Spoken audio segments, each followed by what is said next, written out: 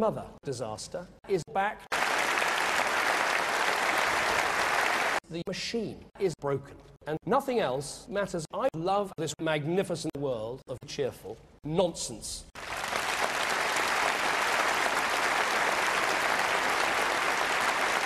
Love terrorist training camps.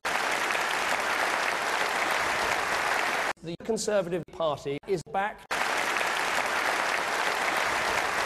Its relentless, desperate, and infectious fire will freeze Gordon Brown and have Britain frightened, broken. In a crazy, wicked fantasy land, a world laughing stock.